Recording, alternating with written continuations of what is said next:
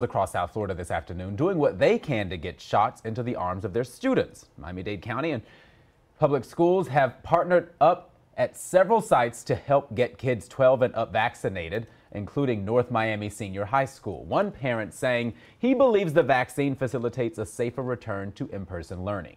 I think that with the vaccine, not only is going to protect my son, but it's also going to help protect others. You can tell that they're they're ready for going back to to the school. Additional dates are scheduled for next Saturday and no appointment is required. All students under the age of 18 must be accompanied by a parent or guardian.